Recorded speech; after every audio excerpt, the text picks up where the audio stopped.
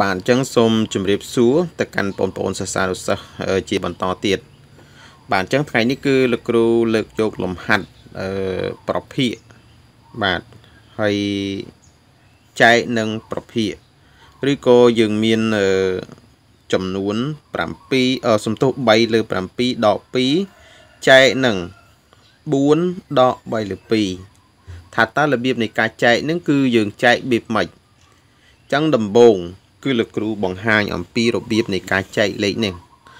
នៅពេលដែលយើងចាប់ផ្ដើមចែកប្រភេទនេះគឺយើងអាចសរសេរវាឲ្យទៅជាទម្រង់ប្រភេទលើប្រភេទបានអញ្ចឹងយើងយកប្រភេទនេះ បាទយើងយកវងក្រចកនេះ គឺចែកជាមួយវងក្រចកនេះតែម្ដងអញ្ចឹងកន្លែងនេះគឺយើងអាចសរសេរបានថាស្មើកន្លែងនេះស្មើកន្លែងនេះ គឺលោកគ្រូបញ្ជាក់បន្តិច ដល់ពេលយើងសេបានបែបនេះគឺបងអូនអាចសរសេរ7លើ3កន្លែងនេះអូសំទុក3លើ7ដក2បិទវងក្រចកអញ្ចឹងមកតែចែកនឹងបាទចែកនឹង4ដក3លើលើ2បែបនេះអញ្ចឹងយើងចែកបែបនេះមក ហើយស្មើអញ្ចឹងមកដល់ត្រង់ចំណុចនេះមកដល់ត្រង់ចំណុចនេះគឺបងអូនត្រូវធ្វើម៉េចកន្លែងនេះគឺយើងមានន័យថាបើសិនជាយើងយកចំនួននេះគឺចែកជាមួយនឹងចំនួនខាងនេះបាទចំនួនខាងនេះគឺយើងសរសេរបែបនេះបានអញ្ចឹងសញ្ញាចែកនេះគឺយើងខណ្ឌដោយរបាប្រភានេះនេះសញ្ញាចែកនេះហើយបន្ទាប់មកទៀតបងអូនត្រូវតម្រូវភាគបែងរួមខាងលើហើយតម្រូវភាគបែងរួមខាងក្រោមខាងលើ3លើ7ដក2 បើ3លើ7ដក2 2វាមានភាគបែងមកវា1បើ2មានភាគបែង1អញ្ចឹងយើងមិនបាច់គិតអឺថាតម្រូវបែបម៉េចទេ គឺយើងតម្រូវយក7ទៅគុណនឹង2តែម្ដងមក7គុណនឹង2តាមពិតលក្ខខណ្ឌរបស់វាគឺ7គុណនឹង2មួយកន្លែងនេះគុណនឹង3អញ្ចឹងភាគបែងរបស់វាគឺ7ត្រូវគុណនឹង1កន្លែងនេះអញ្ចឹងយើងស្គាល់ថាភាគបែងរួមរបស់វាគឺស្មើ7ហើយ បើស្មើ7យក7គុណនឹង2មកអញ្ចឹងកន្លែងនេះគឺយើងបាន3ដក7 2ដង14អញ្ចឹង7ដក14កន្លែងនេះគឺ10 14 14លើអញ្ចឹងយើងមាន ប្រភេទរបស់យើងទៀត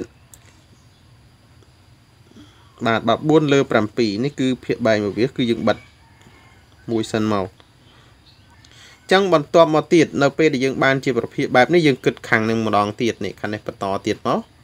កន្លែងនេះគឺយើងមានភាគបែងរួមរបស់វា2បើភាគបែងរួមរបស់វា2កន្លែងនេះគឺ4វាមានភាគបែងវា1ដូចខាងលើនឹងដែរអញ្ចឹងយើងយក2យកមកគុណនឹង4តែម្ដងមក2 4ដង8កន្លែងនេះគឺយើងបាន8អញ្ចឹងគ្រូដាក់8ដកសញ្ញានេះគឺសញ្ញាដកដក3អញ្ចឹង ដក3ហើយយើងដាក់របាប្រភេទធម្មតា បាទដក3លើ2កន្លែងនេះគឺលើលើ2អញ្ចឹងយើងបិទវងក្រចកមកនេះប៉ុណ្ណឹងហើយបន្ទាប់មកទៀតស្មើ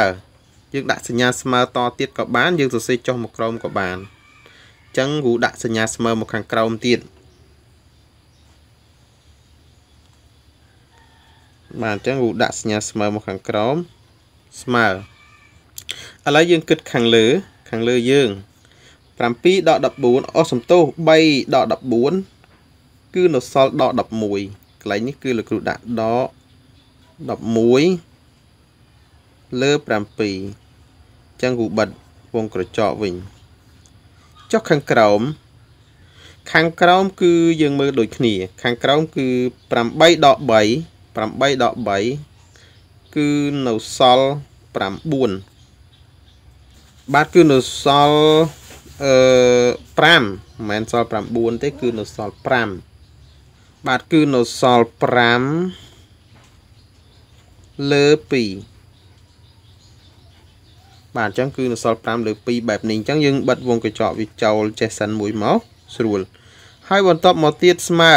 អញ្ចឹងប្រភេទនេះប្រភេទនេះគឺប្អូនទម្លាក់មកខាងក្រៅមក អញ្ចឹងមកដល់កន្លែងនេះគឺយើងគិតប្រភេទចែកនឹងប្រភេទប្រភាគចែកនឹងប្រភាគអញ្ចឹងបានន័យថាដក11លើ7ចែកជាមួយនឹងប្រភាគ5លើ2បើវាចែកនឹង5លើ2បែបនេះគឺយើងត្រូវយកប្រភាគទី1មកគុណនឹងចម្រាស់ប្រភាគទី2អញ្ចឹងយើងធ្វើតាមលក្ខខណ្ឌនឹងមកដើម្បីចែកប្រភាគនិងប្រភាគគេយកប្រភាគទី1នេះមកគុណនឹងចម្រាស់ប្រភាគទី2ចោះ អ្វីទៅចម្រាស់នឹងចម្រាស់គឺយើងសរសេរធម្មតាមកគឺដក11លើ7ប្រភាគទី1ហើយយើងយកមកគុណនឹងចម្រាស់គុណនឹងចម្រាស់អញ្ចឹងបោះ2ឡើងលើនេះ2នេះគឺឡើងលើមកចម្រាស់ហើយលើ5ឃើញទេនេះគឺយើងគុណនឹងចម្រាស់កាលណាយើងគុណនឹងចម្រាស់របស់វា វានឹងចេញលទ្ធផល គឺស្មើនឹងអញ្ចឹងយើងមើលបន្តទៀតមក ចឹងលោកគ្រូដាក់លទ្ធផលវាគឺស្មើនឹងយើងចាប់ផ្ដើមគុណកន្លែងនេះគឺ បានអញ្ចឹងលោកគ្រូដូរមកដាក់សញ្ញាស្មើនៅខាងក្រោមវិញ គឺស្មើកន្លែងនេះស្មើអញ្ចឹងកន្លែងនេះគឺបងអូនមើលបន្តកន្លែងនេះគឺយើងបានដល់ពេលដែលយើងយកសញ្ញាដកគុណនឹងសញ្ញាបូកកន្លែងនេះគឺវាបានសញ្ញាសញ្ញាដកអញ្ចឹងវាចេញលទ្ធផលគឺដក11គុណនឹង អឺ2 11គុណនឹង2គឺវាបាន22អញ្ចឹងកន្លែងនេះគឺបងអូនដាក់22មកបាទភាគបែងរបស់វាគឺ7គុណនឹង5 7 5ដង35អញ្ចឹងកន្លែងនេះគឺ35បាទ35កន្លែងនេះបាទ ចឹងនេះហើយគឺជាលទ្ធផលដែលយើងបានរកឃើញនេះគឺស្មើប៉ុណ្ណឹងចឹងបានន័យថាចម្លើយគឺដក22លើ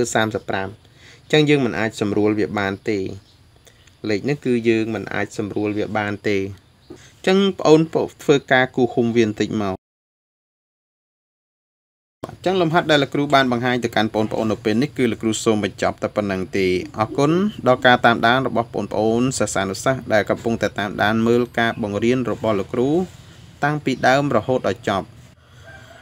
បានចឹងជាដំបូងសូមជម្រាបសួរទៅកាន់បងប្អូនសិស្សានុសិស្សទាំងអស់ដែលកំពុងតែតាមដានមើលការបង្រៀនរបស់លោកគ្រូថ្ងៃនេះគឺលោកគ្រូលើកយកលំហាត់អឺពីវិធីចែកមកបង្ហាញបងប្អូនបន្តទៀត អញ្ចឹងលោកគ្រូបង្ហាញអំពីកលឹះកលឹះនៃការដោះស្រាយអឺ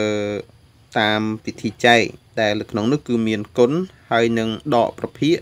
ហើយបន្ទាប់មកទៀតសញ្ញាចែកហើយនឹងសញ្ញាបូកអញ្ចឹងនៅក្នុងលក្ខខណ្ឌរបស់វា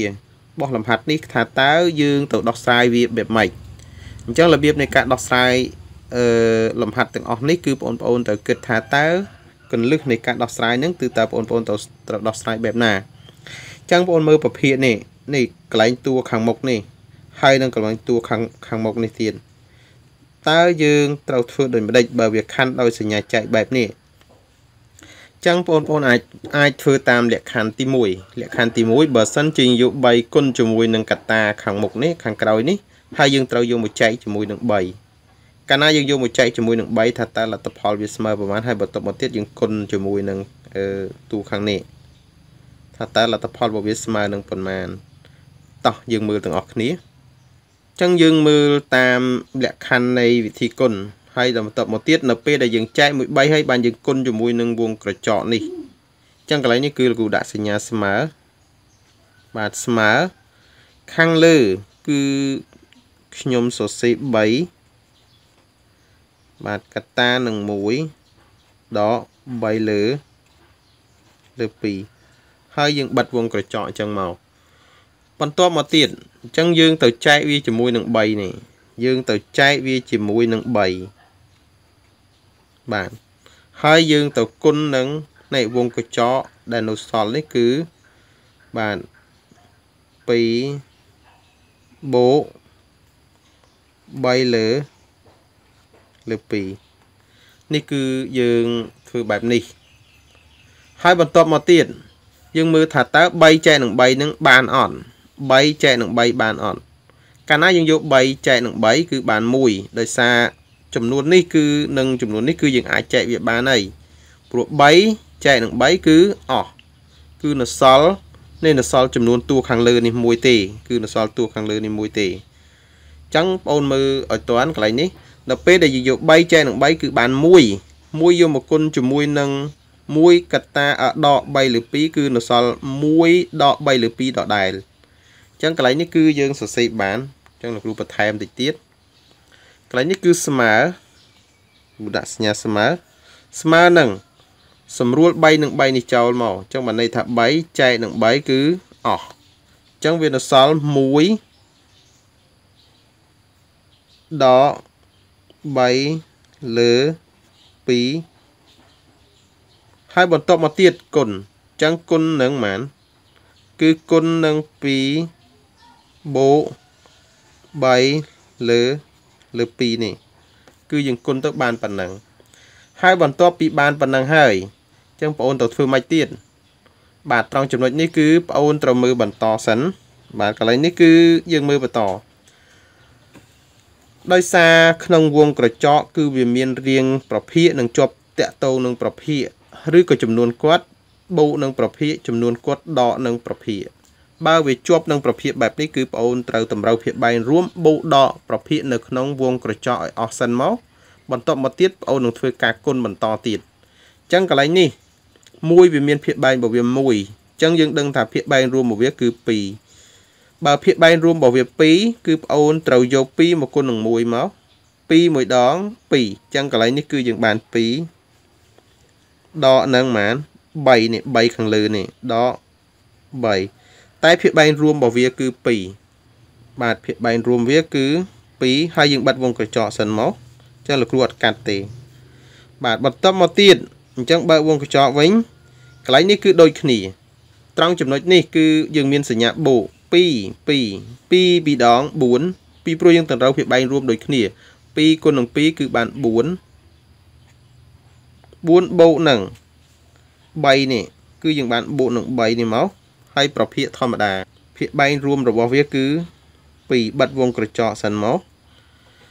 ចឹងយើងធ្វើការស៊ីសងត្រង់ចំណុចនេះសិនមកបាទអញ្ចឹងយើងស៊ីសងកន្លែងនេះសិនមក2ដក3គឺនៅសល់1លើ2អញ្ចឹងកន្លែងនេះដាក់1លើលើ2មកចឹងយើងដាក់វងកញ្ចក់ចេះក៏បានដែរដាក់វងក្រចកមកស្រួលមើល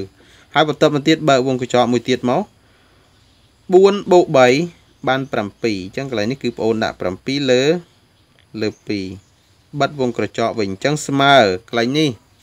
នៅពេលដែលបងអូនយក1គុណនឹង7 1គុណនឹង7គឺបាន7កន្លែងនេះគឺបាន5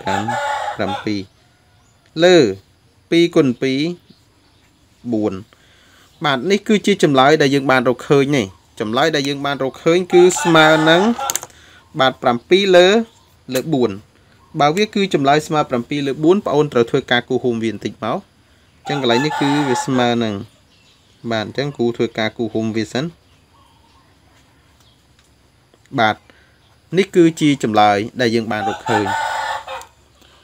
ចឹងលំហាត់ដែលលោកគ្រូបានបង្ហាញទៅកាន់បងប្អូននៅពេលនេះគឺលោកគ្រូសូមបញ្ចប់តែប៉ុណ្្នឹងទេអរគុណដល់ការតាមដានរបស់បងប្អូនសិស្សានុសិស្សដែលកំពុងតែតាមដានមើលការបង្រៀនរបស់លោកគ្រូតាំងពីដើមរហូតដល់ចប់ បាទបើសិនជាបងប្អូនអត់យល់ទេសូម comment នៅក្រោមវីដេអូរបស់លោកគ្រូលោកគ្រូនឹងធ្វើការពន្យល់បងប្អូនបន្តទៀតបាទអញ្ចឹងជាដំបូងសូមជម្រាបសួរទៅកាន់បងប្អូនសិស្សានុសិស្សជាបន្តទៀត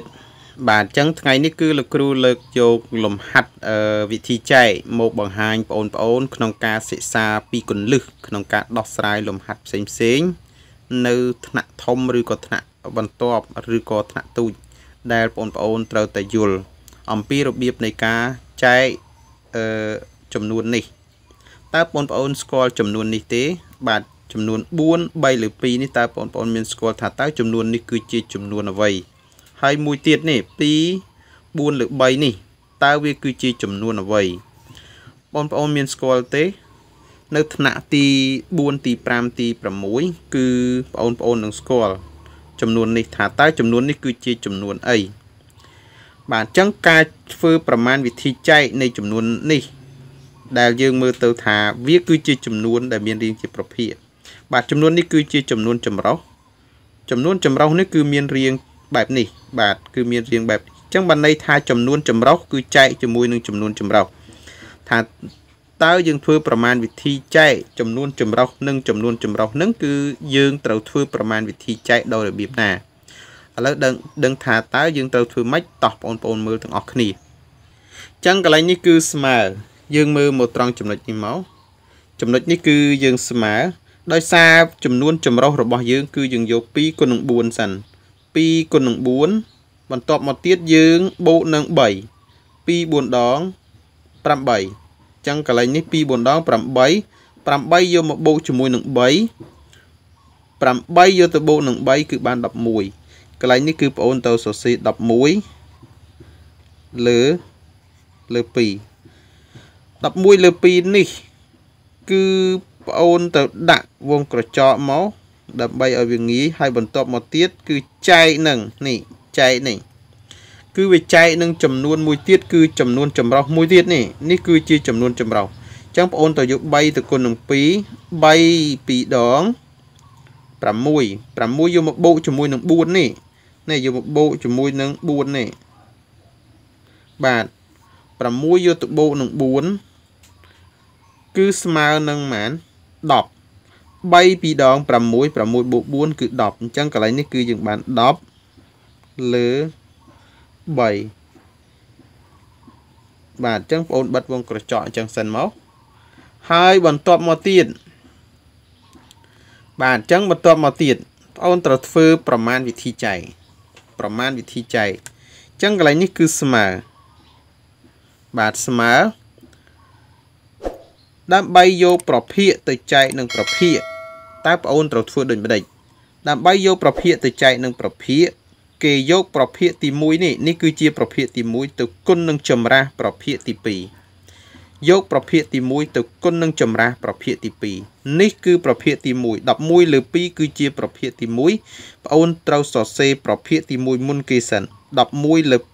2គុណនឹងចម្រាស់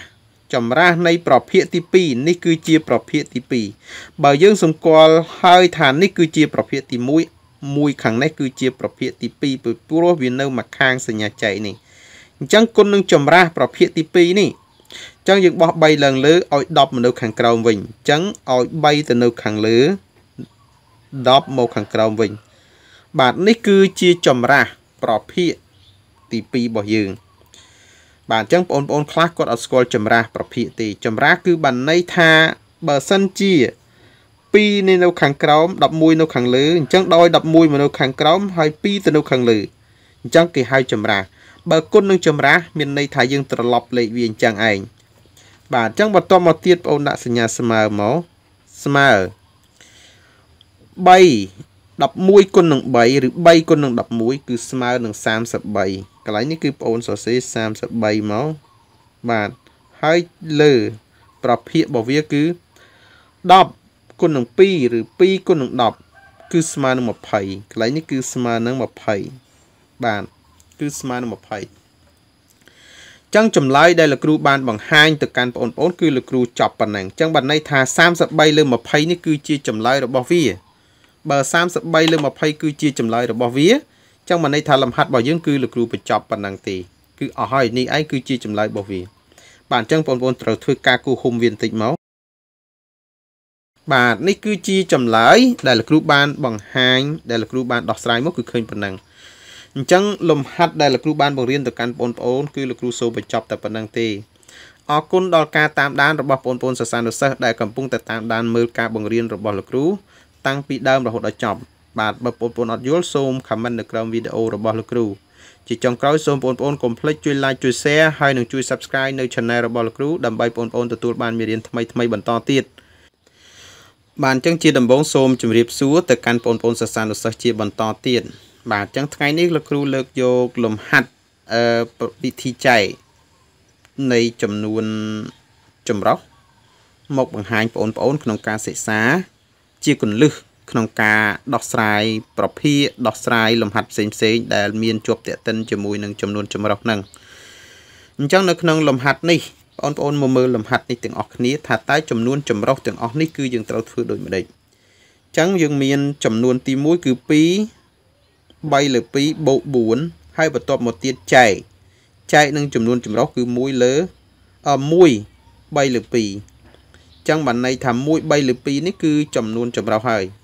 បាទចឹងកន្លែងនេះ ថាតើយើងត្រូវដោះស្រាយយ៉ាងដូចម្ដេចនៅត្រង់ចំណុចនេះ បាទចំពោះលំហាត់នេះគឺបងប្អូនត្រូវមើលឲ្យជាប់ថាតើយើងត្រូវដោះស្រាយវាយ៉ាងដូចម្ដេចជាពិសេសបងប្អូនថ្នាក់ទី4ទី5ទី6ទី7ទី8និងទី9ហ្នឹង គឺបងប្អូនត្រូវយល់អំពីចំនួននេះអឺបងប្អូនកូនកូនសិស្សានុសិស្សខ្លះគឺគាត់មិនសូវជាយល់ទេរបៀបនៃការដោះស្រាយឬក៏របៀបនៃការគិតទៅលើចំនួនចម្រុះហ្នឹងប៉ុន្តែបើសិនជាមិនសូវចាប់អារម្មណ៍ទេគឺក្នុងគណិតវិទ្យាគឺបងប្អូនពិបាកក្នុងការដោះស្រាយហើយទាំងវិធីគុណវិធីចែកវិធីបូកហ្នឹងគឺបងប្អូនត្រូវជំនាញត្រូវគិតឲ្យបានលឿនក្នុងការដោះស្រាយវា ជាពិសេសតកតោមួយមេលេខហ្នឹងអញ្ចឹងយើងមើលបន្តមកទៀតមក ចំនួននេះគឺលោកគ្រូយក2ទៅគុណនឹង3អត់សំទោសយក2ទៅគុណនឹង2រួចបូកជាមួយនឹង3 2គុណនឹង2ហើយបន្ទាប់មកទៀតបូកជាមួយនឹង3អញ្ចឹងចំនួននេះគឺយើងយើងធ្វើបែបហ្នឹងអញ្ចឹងគ្រូដាក់សញ្ញាស្មើកន្លែងនេះ2គុណនឹង2បាន4 4បូកជាមួយនឹង3បាន7កន្លែងនេះគឺគ្រូដាក់7លើលើ2បាទហើយបន្ទាប់មកទៀតបូកនឹង4នេះប៉ុន្តែកុំភ្លេចថា4នេះវាជាប់សញ្ញាចែកជាមួយនេះ គឺយើងត្រូវអត់អាចយកមកបូកមួយ4ហើយទៅចែកបានទេអញ្ចឹង4ទៅចែកជាមួយចំនួនចម្រុះនេះសិនអញ្ចឹងកន្លែងនេះគឺចែកនឹងបាទគឺចែកនឹង2គុណនឹង1ពីព្រោះវាគឺជាចំនួនចម្រុះគឺត្រូវយក2ទៅគុណនឹង1 2មួយដង2 2ទៅបូកជាមួយនឹង3នេះទៀតគឺបាន5អញ្ចឹង2មួយដង2 2បូក3 5អញ្ចឹងកន្លែងនេះគឺយើងបាន5លើលើ2 បើយើងបានចំនួន5លើ2បែបនេះអញ្ចឹងបងអូនមើលបន្តទៀតមកថាតើយើងត្រូវធ្វើដូចម្ដេចទៀតដើម្បីឲ្យវាចេញលទ្ធផលមកគឺជាចម្លើយដែលត្រឹមត្រូវអញ្ចឹងយើងមើលបន្តទៀតលោកគ្រូបង្ហាញបន្តទៀតអញ្ចឹងកន្លែងនេះគឺលោកគ្រូដាក់សញ្ញាស្មើមួយទៀតមកសញ្ញាស្មើបាទ7លើ2គឺលោកគ្រូសរសេរធម្មតាបន្ទាប់មកទៀតយក4មកចែកនឹង5លើ2អញ្ចឹង7លើ2 គឺទុកធម្មតាហើយបន្ទាប់មកទៀតបាទអញ្ចឹងបន្ទាប់មកទៀតបូកនឹងកន្លែងនេះគឺបូកនឹង4ត្រូវចែកនឹង5លើ2បើ4ចែកនឹង5លើ2ដែលមានរាងជា ប្រភេទបែបនេះគឺលោកគ្រូសរសេរនៅខាងលើគឺ4ចែកនឹង5លើលើ2ឃើញទេគឺយើងចែករបៀបនេះ ដោយសារ4វាមានភាគបែងរបស់វា1អញ្ចឹងលោកគ្រូដាក់សញ្ញាស្មើទៅទៀតចុះបាទស្មើ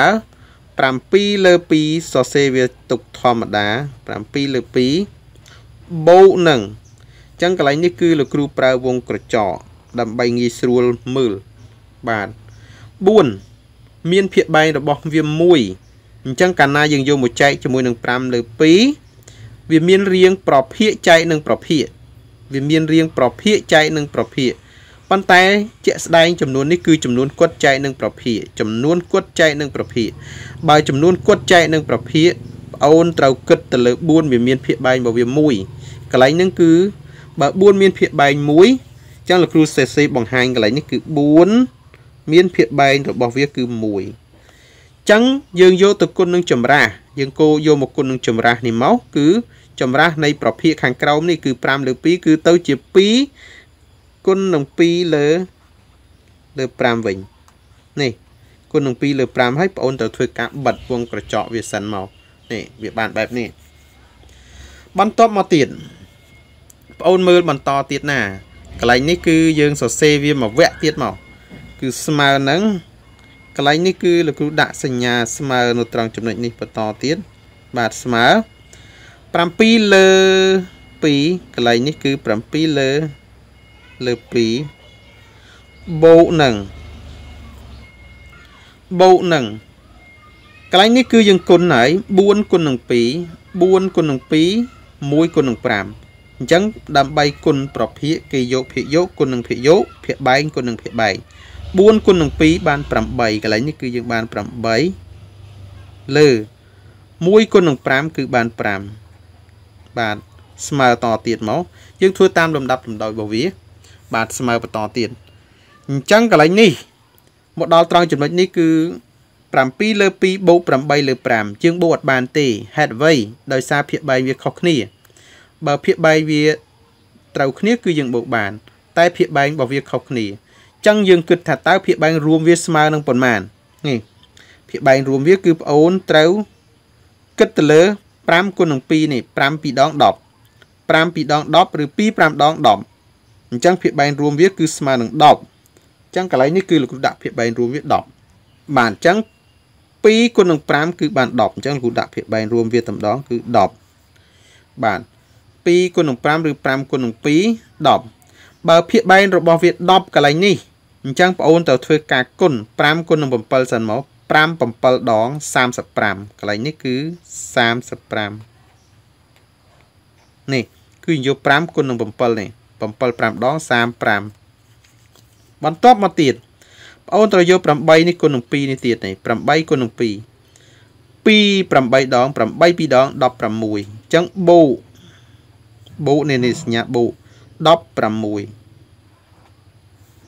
2ដង16ឃើញទេ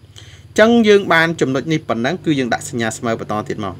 បាទអញ្ចឹងយើងបានប៉ុណ្ណឹងហើយបន្ទាប់មកយើងបូកមកយក35បូកនឹង16តើ35បូកនឹង16ស្មើនឹងប៉ុន្មាន30សេ51កន្លែងនេះគឺជាលទ្ធផលរបស់វាគឺស្មើនឹង51បាទលើ10បាទអញ្ចឹងលទ្ធផលគឺស្មើនឹង51លើ10 បាទនេះហើយគឺជាចម្លើយដែលយើងបានរកឃើញនេះគឺស្មើ51លើ10ហ្នឹងអញ្ចឹងបងអូនធ្វើត្រូវធ្វើការគូហុំវាបន្តិចមកបាទនេះគឺជាចម្លើយប៉ុន្តែគូចង់បញ្ជាក់បន្តិចបើពេលប្រឡងបងអូនមិនអាចគូហុំបែបនេះបានទេនេះគឺគ្រាន់តែជាសញ្ញាដែលលោកគ្រូធ្វើឲ្យបងប្អូនក្នុងការមើលតែប៉ុណ្ណឹងប៉ុន្តែពេលប្រឡងគឺបងអូនទៅគូហុំធម្មតានេះគូហុំធម្មតា បាទអញ្ចឹងលំហាត់ដែលលោកគ្រូបានបង្ហាញទៅកាន់បងប្អូននៅពេលនេះគឺលោកគ្រូសូមបញ្ចប់តែប៉ុណ្្នឹងទេអរគុណដល់ការតាមដានរបស់បងប្អូនសិស្សានុសិស្សដែលកំពុងតែតាមដានមើលការបង្រៀនរបស់លោកគ្រូតាំងពីដើមរហូតដល់ចប់បាទអញ្ចឹងជាដំបូងសូមជម្រាបសួរទៅកាន់បងប្អូនសិស្សានុសិស្សជាបន្តទៀតបាទអញ្ចឹងលោកគ្រូលើកយកលំហាត់អឺចំនួនចម្រោះបូហើយយើងបូដកនឹងចំនួនចម្រោះវិញ ចឹងយើងប្រើសញ្ញាកដាលគឺសញ្ញាចែកចឹងបានន័យថាចំនួន ដែលលោកគ្រូបានលើកមកបង្ហាញបងប្អូននៅពេលនេះគឺលោកគ្រូចង់បង្ហាញពីចំនួនចម្រុះបូកនឹងចំនួនចំនួនគុតហើយចំនួនគុតដដែលនឹងគឺចែកសំទោសដកនឹងចំនួនចម្រុះដដែលចង់ដឹងថាតើលទ្ធផលរបស់វាគឺស្មើនឹងប៉ុន្មានចឹងយើងមើលរបៀបនៃការដោះស្រាយតើបងប្អូនយល់ទេ នៅពេលដែលបងប្អូនឃើញលំហាត់បែបនេះ ចំពោះបងប្អូនថ្នាក់ទី7ទី8ទី9នឹងជាពិសេសបងប្អូនថ្នាក់ទី10នឹងថាតើបងប្អូនអាចយល់ទេនៅពេលដែលឃើញលំហាត់បែបនេះតើបងប្អូនអាចយល់ពីរបៀបនៃការដោះស្រាយបានទេអញ្ចឹងលោកគ្រូគ្រាន់តែកើនរំលឹកអំពីការដោះស្រាយលំហាត់ប្រភេទនេះទៅកាន់បងប្អូនក្នុងការមើលកំសាន្តក្នុងការមើលក្នុងការស្វែងយល់បន្តទៀតជាពិសេសបើបងប្អូនសិស្សានុសិស្សថ្នាក់ទី4ទី5ទី6គឺពួកគេត្រូវការស្វែងយល់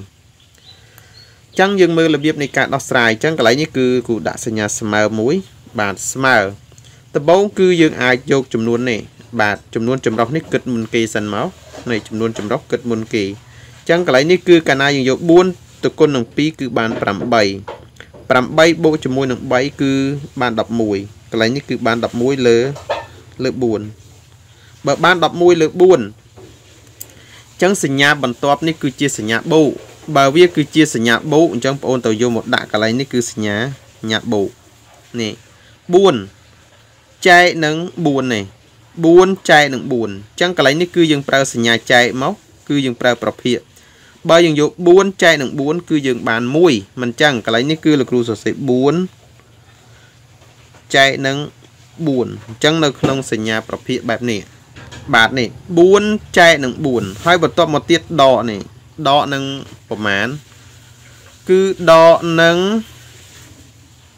បាទ2 4គុណនឹង2បាន8 8បូក3គឺបាន11កន្លែងនេះគឺបាន11លើលើ4អញ្ចឹងលទ្ធផលវាស្មើនឹងប៉ុន្មានអញ្ចឹងយើងមើលបន្តទៀតកន្លែងនេះកន្លែងនេះគឺបងអូនត្រូវមើលបន្តទៀតស្មើអញ្ចឹងកន្លែងនេះគឺយើងបាន14 លើ4 4ចែកនឹង4គឺបាន1អញ្ចឹងកន្លែងនេះគឺយើងបូកនឹង1ដកនឹង11លើ4អញ្ចឹង11លើ4គឺនៅ11លើ4ដដែលមក11លើលើ4អញ្ចឹងបងប្អូនមើលកន្លែងនេះនៅពេលដែលយើងយក11លើ4ដក11លើ4 0គឺស្មើនឹង0អញ្ចឹងមិនមែនដកទៅស្មើ1សល់1ទេណា 14លើអូសំទុះ11លើ4ចែក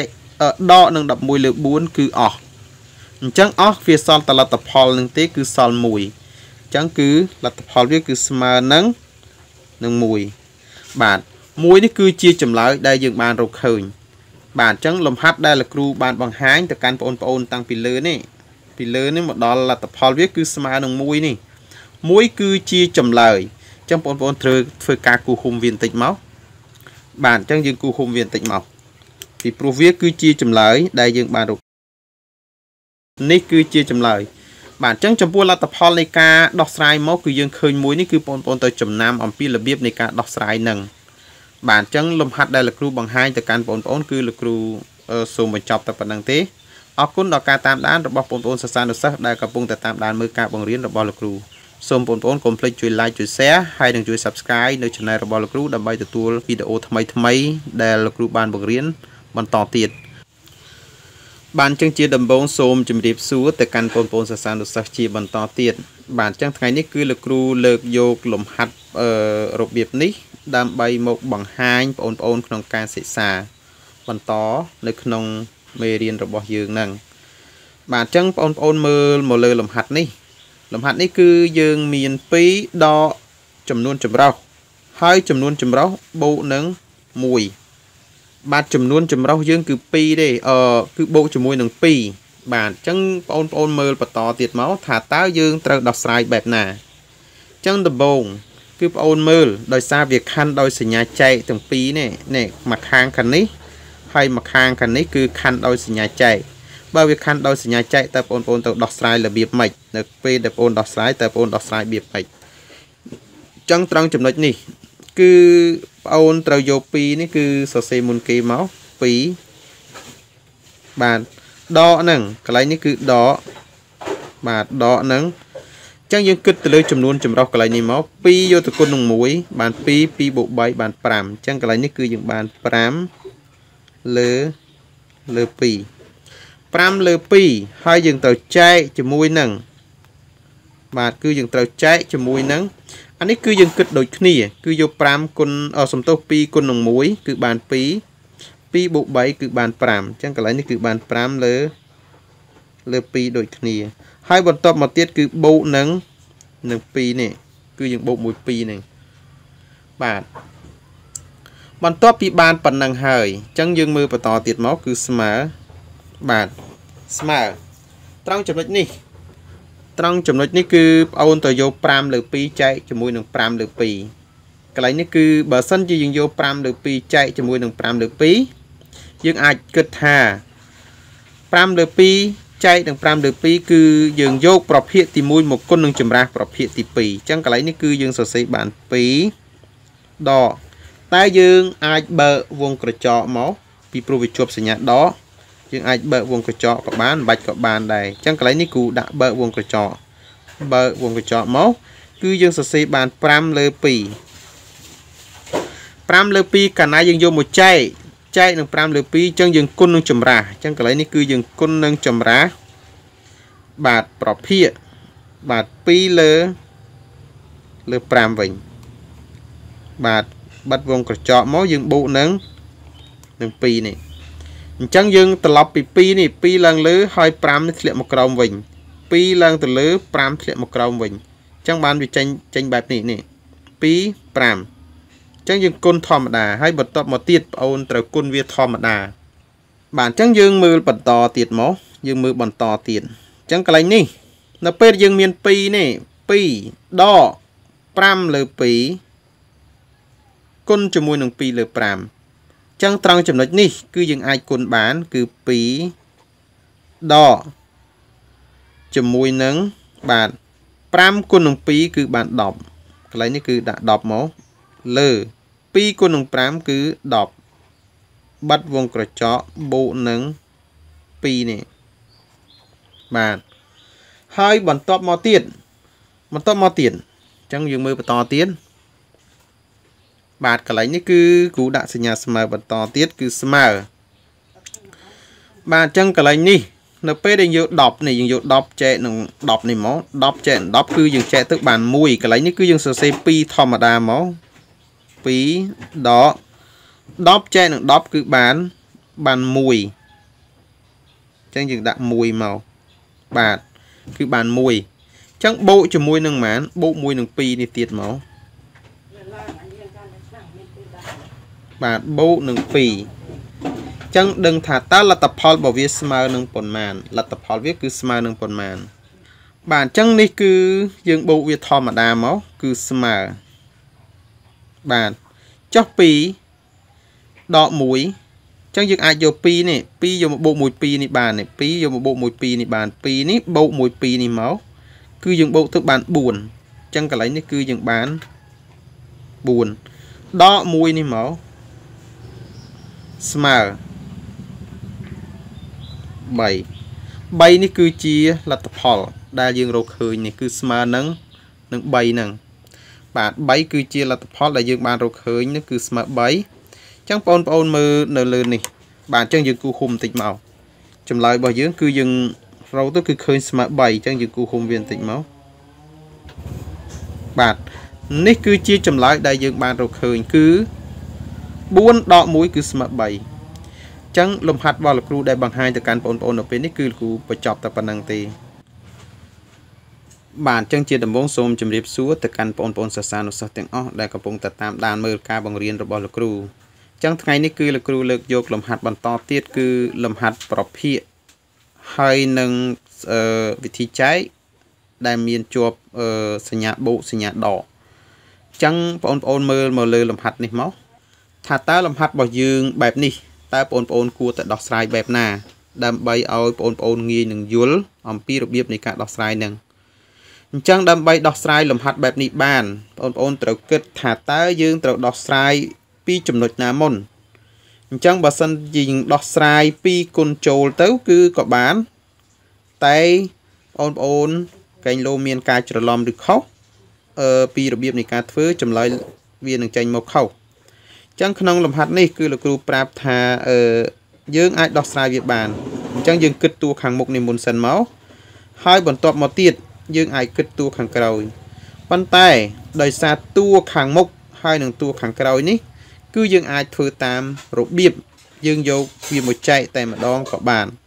អញ្ចឹងយើងយកចំនួនខាងមុខនេះគឺចែកនឹងចំនួនខាងក្រោយនេះគឺចេញលទ្ធផលដូចគ្នា បាទអញ្ចឹងលោកគ្រូគិត ចំនួនខាងមុខនេះចូលសិនមកបាទអញ្ចឹងកន្លែងនេះគឺលោកគ្រូសរសេរ2ធម្មតា2គុណនឹងអញ្ចឹងកន្លែងនេះគឺលោកគ្រូសរសេរបាន1ដោយសារ2គុណនឹង3គឺបាន6 6បូក1គឺបាន7អញ្ចឹងកន្លែងនេះគឺដក7លើលើ2នេះចំនួនចម្រុះហើយបន្ទាប់មកទៀតបងអូនត្រូវធ្វើការបិទវងក្រចកសិនមកបន្ទាប់មកដាក់សញ្ញាចែកធម្មតា សញ្ញាចែកធម្មតា2គឺជាប់សញ្ញាដកគឺបងអូនដាក់សញ្ញាដកវាមកគឺដក2គុណនឹង1គឺយើងដាក់1ធម្មតាបូកនឹងកន្លែងនេះគឺយើងគុណចំនួនចម្រុះធម្មតា2 3ដង6 6បូក1 7 7លើលើ2យើងគិតវាប៉ុណ្ណឹងហើយបន្ទាប់មកទៀត បន្ទាប់មកទៀតគឺប្អូនត្រូវគិតវាបន្តទៀតមកកន្លែងនេះគឺស្មើស្មើនឹងបើប្អូនគិតចំនួនខាងក្នុងនេះមុនក៏បានហើយចំនួនខាងក្នុងយើងគិតមុនក៏បានបន្ទាប់មកទៀតយើងចាំចែកជាមួយនឹងចំនួនបន្តទៀតក៏បានអញ្ចឹងលោកគ្រូគិតកន្លែងខាងក្នុងមុនអញ្ចឹង2កន្លែងនេះគឺយើងបាន2កតានឹង ដោយសារ1ដក7លើ2អត់បានយើងត្រូវការតម្រូវភាពបែងរួមបើតម្រូវភាពបែងរួមបងអូនត្រូវយក2ទៅគុណនឹង1 2មួយដង2ដកនឹង7លើភាគបែងរួមរបស់វា បាទភាគបែងរួមរបស់វាគឺ2នេះគឺលើលើ2ហើយបងអូនត្រូវធ្វើការបិទវងក្រចកមកចែកនឹងចែកនឹងដក2កន្លែងនេះគឺបងអូនទៅដាក់ដក2ធម្មតាដក2 ដក2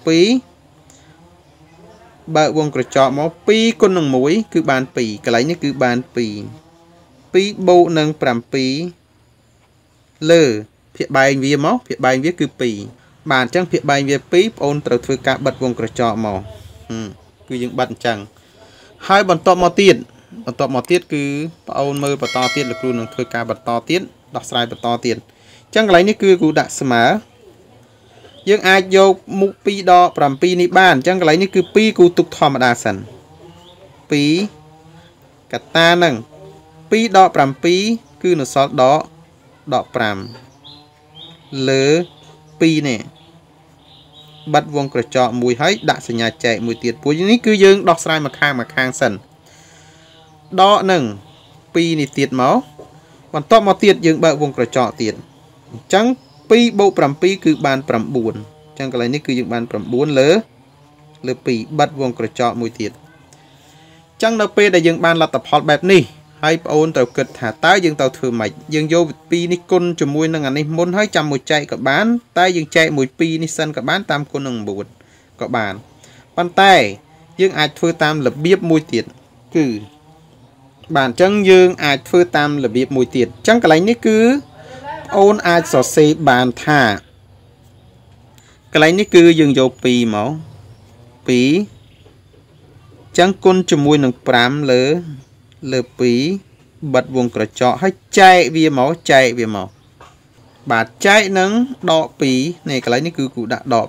2អត់បាត់ទេលើ9ចែកនឹង2អញ្ចឹងយើងបិទពងកញ្ចក់អញ្ចឹងមកស្មើបន្តទៀតអញ្ចឹងយើងដាក់សញ្ញាស្មើកន្លែងនេះគឺ2ចែកនឹង2គឺយើងចែកទៅគឺអស់ហើយគឺបាន1អញ្ចឹងកន្លែងនេះគូធ្វើការសម្រួលចោល2ចែកនឹង2គឺនៅសល់1អញ្ចឹងវាជាប់សញ្ញាដកអញ្ចឹងសញ្ញាដកយើងដាក់នៅខាងលើនេះឃើញទេអញ្ចឹងវានៅសល់តែ5លើ2ចែកនឹង9លើ2អញ្ចឹងដើម្បីចែក5លើ2និង9លើ2ដែលមានរៀងប្រភេទចែកនឹងប្រភេទបែបនេះគឺគេយកប្រភេទទី1នេះមកគុណនឹងចម្រាស់ប្រភេទទី2អញ្ចឹងបានន័យថា កន្លែងនេះសញ្ញាដកនៅខាងមុខធម្មតាគឺ5លើ2គុណនឹងបាទចម្រាស់គឺយើងបោះ2ឡើងលើបោះ2ឡើងលើ9នេះមកក្រោមវិញអញ្ចឹងគ្រូដាក់សញ្ញាកន្លែងនេះអញ្ចឹងមានន័យថាបោះ2ឡើងលើ9មកខាងក្រោមបាទកន្លែងនេះគឺយើងបោះបាទ9ហើយ2នេះគឺយើងបោះឡើងលើឃើញទេ វាចម្រាស់គឺបានន័យថាវាវិលអញ្ចឹងបានន័យថា9មកខាងក្រោម2ឡើងលើអញ្ចឹងកន្លែងនេះកន្លែងនេះគឺយើងសរសេរបាន2នេះ2ឡើងលើមក2ឡើងលើ2លើ9វិញអញ្ចឹងបិទវងក្រចកអញ្ចឹងមកបាទអញ្ចឹងយើងមើលកាលណាយើងបិទវងកញ្ចក់ហើយយើងគុណវាទៅសញ្ញាដកគឺនៅតែជាសញ្ញាដកអត់មានបាត់ទេសញ្ញាដក5គុណនឹង2ឬក៏កន្លែងនេះឥឡូវយើងមើល បើយើងយក5គុណនឹង2គឺបាន10 2គុណនឹង9 18គឺយើងនៅតែសម្រួលចោលដដែលអញ្ចឹងយើងសម្រួល2នេះហើយទៅ2សម្រួលជាមួយនឹង2នេះចោលមកគឺអស់អញ្ចឹងវានៅសល់លទ្ធផលវាគឺ5 5លើ9នេះបាទ5លើ9នេះគឺជាចម្លើយដែលយើងបានឃើញហើយគឺយើងដោះស្រាយមកគឺយើងឃើញ5លើ9បាទអញ្ចឹងលទ្ធផលគឺយើងឃើញប៉ុណ្ណឹងយើងគូឃុំវាបន្តិចមក បាទនេះគឺជាចម្លើយដែលយើងបានរកឃើញចឹងលំហាត់ដែលលោកគ្រូបានបង្ហាញទៅកាន់បងប្អូន គឺលោកគ្រូសូមបញ្ចប់តែប៉ុណ្្នឹងទេអរគុណដល់ការតាមដានរបស់បងប្អូនសិស្សានុសិស្សដែលកំពុងតែតាមដានមើលការបង្រៀនរបស់លោកគ្រូតាំងពីដើមរហូតដល់ចប់បាទអញ្ចឹងជាដំបូងសូមជម្រាបសួរទៅកាន់បងប្អូនសិស្សានុសិស្សជាបន្តទៀតបាទអញ្ចឹងថ្ងៃនេះលោកគ្រូលើកយកលំហាត់អឺបូ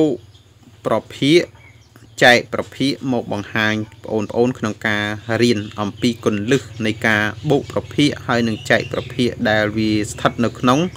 អឺតួរួមជាមួយគ្នា បាទអញ្ចឹងសញ្ញាដែលវានៅជាលក្ខណៈរួមជាមួយគ្នា រវាងប្រភាគបូកប្រភាគហើយចែកនឹងប្រភាគបូកប្រភាគហ្នឹងថាតើយើងចែកវាតាមរបៀបណា ពីព្រោះយើងមើលសញ្ញានេះគឺជាសញ្ញាបូកទាំងអស់បូកទាំងអស់ថាតើជាលទ្ធផលវាស្មើនឹងប៉ុន្មាន អញ្ចឹងកលឹះបែបនេះគឺលោកគ្រូនឹងបង្ហាញបងប្អូនថាតើលទ្ធផលរបស់វាស្មើនឹងប៉ុន្មានអញ្ចឹងមើលទាំងអស់គ្នាតោះបាទអញ្ចឹងកន្លែងនេះគឺលោកគ្រូដាក់សញ្ញាស្មើកន្លែងនេះដោយសារវាមានរាងប្រភាគបូកនឹងប្រភាគនៅក្នុងវងក្រចកទី1តែសញ្ញាកន្លែងនេះគឺសញ្ញាចែកបើវាគឺជាសញ្ញាចែកកន្លែងនេះ គឺវាខណ្ឌដោយសញ្ញាចែកតែមកខាងនេះគឺវងក្រចកដែលនៅក្នុងវងក្រចកនេះគឺ វាមានរាងប្រភាគបូកនឹងប្រភាគទៀតអញ្ចឹងរបៀបទី1បើសិនជាលោកគ្រូសរសេរយកប្រភាគទី1បានអញ្ចឹងកន្លែងនេះ បើសិនជាលោកគ្រូយកប្រភាគមកចែកនឹងប្រភាគណែយកប្រភាគនេះលោកគ្រូសេប្រភាគនេះហើយចែកជាមួយនឹងប្រភាគវិញនេះវិញតើបងអូនគិតល្មិចប៉ុន្តែកន្លែងនេះគឺលោកគ្រូមិនសរសេរបែបនឹងទេលោកគ្រូយក3គុណនឹង4យើងតម្រូវភាគបែងរួមវាតែម្ដងមកបាទ ចឹងតម្រូវភាគបែងរួមវាតែម្ដងភាគបែងរួមវាគឺ6 3គុណនឹង2ឬ2គុណនឹង3 6ចឹងកន្លែងនេះគឺលោកគ្រូដាក់6មុនគេបាទអញ្ចឹងបងអូនមើលកន្លែងនេះសិនមកគ្រូដាក់សញ្ញាចែកធម្មតាអញ្ចឹងគ្រូយកភាគបែងរួមវាគឺ10 10អូសំទុះបាទអញ្ចឹងភាគបែងរបស់វា6មិនមែន10ទេកន្លែងនេះគឺ6អញ្ចឹងលោកគ្រូសរសេរខាងលើសិនយក3គុណនឹង1គឺបានកន្លែងនេះគឺ3 បូកសញ្ញាបូកកន្លែងនេះគឺបងអូនដាក់សញ្ញាបូកមក2គុណនឹង4គឺបាន8បាទ2គុណនឹង4បាន8ចុះភាគបែងរួមវាកន្លែងនេះគឺ10បាទអញ្ចឹងភាគបែងរួមរបស់វាគឺ2គុណនឹង3 3គុណនឹង2គឺបាន6កន្លែងនេះគឺបាន6បាទបន្ទាប់មកទៀតអញ្ចឹងកន្លែងនេះគឺលោកគ្រូប្រើវងក្រចកចេះមកដូចខាងលើ បាទអញ្ចឹងខាងនេះក៏លោកគ្រូប្រើវងក្រចកដែរអញ្ចឹងកន្លែងនេះគឺយើងគុណដូចគ្នា ភាគបែងរបស់វាគឺ3គុណនឹង2 6ដូចគ្នា ភាគបែងវាគឺ6ដូចគ្នា បាទអញ្ចឹងយើងយក2គុណនឹង4 2 4ដងគឺ8បូកនឹង3គុណនឹង1 3មួយដង3យើងបិទវងកញ្ចក់វាសិនមកបាទនេះយើងបិទវាចេញចេះសិនមកហើយបន្ទាប់មកទៀតបាទអញ្ចឹងបន្ទាប់មកទៀតកន្លែងនេះគឺស្មើនឹង 3បូក8គឺ11កន្លែងនេះគឺប្អូនយកសរសេរវា11មក11លើ6បាទចែកនឹងឃើញទេចែកនឹងហ្មង8បូក3គឺ11ដូចគ្នា11លើលើ6បាទចឹងមកដល់ត្រង់ចំណុចនេះគឺមានរៀងប្រភាគចែកនឹងប្រភាគបាទចឹងយើងយកប្រភាគទី1មកចែកនឹងប្រភាគទី2ចឹង និយមន័យដើម្បីចែកប្រភាគនឹងប្រភាគគេយកប្រភាគទី1មកគុណនឹងចម្រាស់ប្រភាគទី2ចឹងកន្លែងនេះគឺលោកគ្រូដាក់សញ្ញាស្មើ ប្រភាគទី1របស់យើងគឺគូបើកវងខ្យល់11លើ6បាទគុណនឹងចម្រាស់គឺយើងបោះ6ឡើងលើ11ចុះក្រោមអញ្ចឹង11នេះគឺយើងប្អូនបោះមកក្រោមនេះមកបាទ11នេះគឺមកក្រោម ហើយ6នេះគឺឡើងលើវិញបាទ6ឡើងលើវិញចេះមកអញ្ចឹង11តម្លាក់មកក្រោមហើយ6ឡើងទៅលើអញ្ចឹងបានយើងបានកន្លែងនេះគឺបើ6ឡើងលើគឺយើងបាន6នៅខាងលើចែកនឹង11គឺយើងតម្លាក់មកក្រោមគឺ11បាទនេះគឺគេហៅចម្រាស់ប្រភាគនៅពេលដែលប្អូនបានប៉ុណ្ណឹងហើយប្អូនធ្វើការគុណធម្មតា បាទអញ្ចឹងយើងធ្វើការគុណបើយើងយក11ចែកនឹង11ក៏បាន6ចែកនឹង6ក៏បានអស់គឺលទ្ធផលវាស្មើ1ប៉ុន្តែលោកគ្រូប្រាប់ពីវិធីគុណ11គុណនឹង6គឺបាន66កន្លែងនេះគឺ66បាទភាគ6គុណនឹង11គឺ66ដូចគ្នា បាទ6ដូចគ្នាអញ្ចឹងលទ្ធផលវាស្មើស្មើបើយើងយក66 ចែកនឹង66អញ្ចឹងលទ្ធផលរបស់វាគឺស្មើនឹងបាទគឺស្មើនឹង1មែនទេលទ្ធផលវាគឺស្មើនឹង1នេះស្មើនឹង1បើវាស្មើនឹង1ចឹងបានន័យថា1នេះគឺជាចម្លើយរបស់វាហើយបាទ66ចែកនឹង66គឺលទ្ធផលវាស្មើ1បាទនេះគឺជាចម្លើយរបស់វាមានន័យថាចម្លើយរបស់វាគឺស្មើ1នឹងឯងបាទអញ្ចឹងបងប្អូនត្រូវធ្វើការគូសឃុំវាបន្តិចមក បាទអញ្ចឹងយើងគូសឃុំវាព្រោះចម្លើយរបស់វាគឺស្មើ1បាទនេះគឺជាចម្លើយបាទអញ្ចឹងលំហាត់ដែលលោកគ្រូបានបង្ហាញទៅកាន់បងប្អូននៅពេលនេះគឺលោកគ្រូសូមបញ្ចប់តែប៉ុណ្្នឹងទេអរគុណដល់ការតាមដានរបស់បងប្អូនសិស្សានុសិស្សដែលកំពុងតែតាមដានមើលការបង្រៀនរបស់លោកគ្រូតាំងពីដើមរហូតដល់ចប់បាទបងប្អូនកុំភ្លេចជួយ like ជួយ share និងជួយ subscribe នៅ channel ដើម្បីបងប្អូនទទួលបានមេរៀនថ្មីថ្មីបន្តទៀត បានចឹងជាដំបូងសូមជម្រាបសួរទៅកាន់បងប្អូនសិស្សានុសិស្សទាំងអស់ដែលកំពុងតែតាមដានមើលការបង្រៀនរបស់លោកគ្រូ នៅលើផ្នែកគណិតវិទ្យានៅ channel Mat BBN ហ្នឹង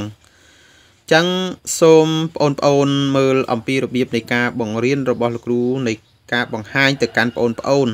អំពីប្រភេទដកនិងប្រភេទហើយដែលមានភាពបែងខុសគ្នាហើយវាទៅចែកជាមួយនឹងប្រភេទដកនិងប្រភេទដែលមានភាពបែងខុសគ្នាដដែល ចឹងនៅក្នុងរបៀបនេះថាតើបងប្អូនត្រូវដោះស្រាយតាមរបៀបណាត្រូវដោះស្រាយតាមវិធីណាអញ្ចឹងវិធីនៃការដោះស្រាយគឺមានច្រើនក៏ប៉ុន្តែលោកគ្រូបង្ហាញបងប្អូនតែរបៀបមួយទេគឺយើងដោះស្រាយតាមរបៀបអឺយើងតម្រូវភាពបែងរួមមុនក៏បាន យើងយកតួប្រភេទចែកនឹងប្រភេទក៏បានប៉ុន្តែបើសិនជាយើងយកប្រភេទចែកនឹងប្រភេទបានអញ្ចឹងបានន័យថាយកអឺ វងក្រចកមួយនេះចែកជាមួយនឹងវងក្រចកមួយនេះប៉ុន្តែនៅក្នុងវងក្រចកគឺប្រភេទហើយអញ្ចឹងក៏បានដែរអត់មានខុសទេតោះឥឡូវបងប្អូនមើលទាំងអស់គ្នាបាទអញ្ចឹងត្រង់ចំណុចនេះប្រសិនបើលោកគ្រូយកប្រភេទមួយចែកនឹងប្រភេទវិញអញ្ចឹងឧទាហរណ៍ថាលោកគ្រូយក5លើ2អញ្ចឹងគ្រូសេចេញជារៀងប្រភេទ5លើ2ដក2លើ3បាទនេះគឺជាប្រភេទមួយ ហើយយើងយកមកចែកនឹងបាទអញ្ចឹងយើងយកមកចែកនឹងប្រភេទគឺ2លើ3នេះចែកនឹងប្រភេទហ្នឹងគឺ2លើ3ដកនឹង5លើ2នេះវិញ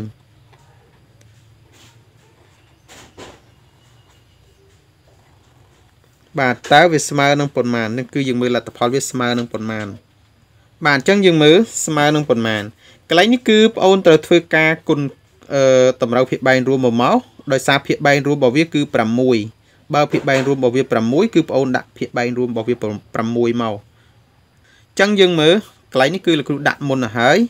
3ពីរដង6គឺបងអូនដាក់ភាគបែងរួមរបស់វាគឺ6អញ្ចឹងយើងយក3នេះ3គុណនឹង5 3គុណនឹង5 3 5ដងគឺ15 15បងអូនទៅសេ15នោះខាងលើនេះមក សញ្ញានេះគឺជាសញ្ញាដកអញ្ចឹងយើងដាក់សញ្ញាដកកន្លែងនេះបន្ទាប់មកទៀតយក2គុណនឹង2នេះមក2 2ដង4កន្លែងនេះគឺយើងបាន4បាទអញ្ចឹងភាគបែងរួមវាគឺ6អញ្ចឹងលោកគ្រូដាក់ក្នុងប្រអប់វាធម្មតាបាទក្នុងវងក្រចកបន្ទាប់មកទៀតកន្លែងនេះគឺយើងបានភាគបែងរបស់វា6ទៀតហើយ2គុណនឹង3ឬ3គុណនឹង2ភាគបែងរួមរបស់វាគឺ6កន្លែងនេះ បាទអញ្ចឹងកន្លែងនេះទៀតឥឡូវយើងមើលបន្តទៀតយើងយក2ទៅគុណនឹង2 2 2ដង4កន្លែងនេះគឺយើងបាន4ដកនេះសញ្ញាវាគឺសញ្ញាដកគឺយើងដកបាទដកនឹងប៉ុន្មានគឺដកនឹង2អសំទោ3គុណនឹង5គឺ15 3 5ដង15ឃើញទេអញ្ចឹងគូបាត់វងក្រចកវាធម្មតាណែលោកគ្រូទុកអឺលេខនេះគឺធម្មតាបន្ទាប់មកទៀត បន្ទាប់មកទៀតបន្ទាប់មកទៀតអញ្ចឹងបងអូនមើលបន្តទៀតសិនមកកន្លែងនេះគឺស្មើបាទយើងស៊ីសងកន្លែងនេះមក15ដក4គឺនៅសល់11អញ្ចឹងកន្លែងនេះគឺ11លើ51បាទនេះមកវគ្គវាមួយទៀតប្រភេទយើងសរសេរវាធម្មតាមកបាទអញ្ចឹងយើងមើលប្រភេទវាធម្មតាមកហើយកន្លែងនេះគឺ4ដក15គឺនៅសល់ដក11មិនអញ្ចឹងមែនទេគឺនៅសល់ដក 11លើនេះភាគបែងរួមរបស់វាគឺ6ទៀតអញ្ចឹងយើងបិទវងក្រចកនេះសិនមកអញ្ចឹងមកដល់កន្លែងនេះគឺយើងជជែកគ្នាទៀតថាតើរៀងរបស់វារៀងបែបម៉េចរៀងរបស់វាគឺរៀងប្រភេទចែកនឹងប្រភេទអញ្ចឹងយើងមើល15ដក4គឺសល់11លើ6 4ដក15គឺជាប់សញ្ញាដកគឺ11លើ6ធម្មតាអញ្ចឹងបើវាជាប់សញ្ញាដកអញ្ចឹងរៀងនេះគឺប្រភេទចែកនឹងប្រភេទ ដើម្បីយកប្រភេទទៅចែកនឹងប្រភេទគឺគឺយកប្រភេទទី1នេះនេះប្រភេទទី1មកគុណនឹងចម្រាស់ប្រភេទទី2នេះគុណនឹងចម្រាស់ប្រភេទទី2តោះបាទអញ្ចឹងយើងយកប្រភេទទី1នេះប្រភេទទី1គឺប៉ុន្មានគឺ11លើ6យកមកគុណនឹងចម្រាស់ប្រភេទទី2អញ្ចឹងយើងគុណមកគុណនឹងចម្រាស់ប្រភេទទី2អញ្ចឹងលោកគ្រូបើកវងក្រចកនេះចម្រាស់វាដោយសារសញ្ញាបើវាជាប់សញ្ញាដកបងទៅដាក់សញ្ញាដកហើយកុំឲ្យភ្លេច តែភ្លេចគឺខុសអញ្ចឹងបោះ6ឡើងលើអញ្ចឹង6ឡើងលើ បាទអញ្ចឹង11នេះគឺយើងបោះមកក្រោមមកបាទ6នេះគឺយើងបោះឡើងលើនេះសញ្ញាព្រួយដែលលោកគ្រូដាក់ឲ្យនេះគឺបានន័យថា11គឺយើងទម្លាក់មកនៅខាងក្រោមហើយឲ្យ6វាទៅនៅខាងលើវិញអញ្ចឹងកន្លែងនេះគឺយើងយក6នៅខាងលើវិញហើយនឹង11នៅខាងខាងក្រោមបាទអញ្ចឹងគឺបិទវងកញ្ចក់ធម្មតាមកស្មើនេះ ត្រង់ចំណុចនេះនៅពេលដល់ត្រង់ចំណុចនេះហើយអូនត្រូវធ្វើការគុណបាទអញ្ចឹងយើងមើលបន្តទៀតនៅពេលដល់ចំណុចនេះគឺយើងធ្វើការគុណទៀតដែរអញ្ចឹងយើងធ្វើការគុណមកអឺដកបូកគុណនឹងដកគឺចេញសញ្ញាដកកន្លែងនេះគឺចេញសញ្ញាដក11គុណនឹង6គឺបាន61អូសំទោស66ភាគ6គុណនឹង11គឺបាន66ដូចគ្នាស្មើ បាទអញ្ចឹងលទ្ធផលនៅពេលយើងយក61ចែកនឹង61គឺស្មើនឹង1កន្លែងនេះគឺយើងស្រួល61និង61មកគឺលទ្ធផលវាគឺស្មើនឹង1បាទនេះគឺជាលទ្ធផល1នេះគឺដោយសារជាប់សញ្ញារបស់វាខាងមុខមួយគឺដកអញ្ចឹងយើងដាក់ដកដក1នេះឃើញទេបាទនេះគឺជាចម្លើយអញ្ចឹងបងប្អូនធ្វើការគូហុំវាបន្តិចមក នេះគឺជាចម្លើយដែលយើងបានរកឃើញលទ្ធផលរបស់វាគឺ1ជាប់សញ្ញាដកគឺស្មើនឹងដក1បាទអញ្ចឹងលំហាត់ដែលលោកគ្រូបានបង្ហាញទៅកាន់បងប្អូននៅពេលនេះគឺលោកគ្រូសូមបញ្ចប់តែប៉ុណ្្នឹងទេអរគុណដល់ការតាមដានរបស់បងប្អូនសិស្សានុសិស្សដែលកំពុងតែតាមដានមើលការបង្រៀនរបស់លោកគ្រូតាំងពីដើមរហូតដល់ចប់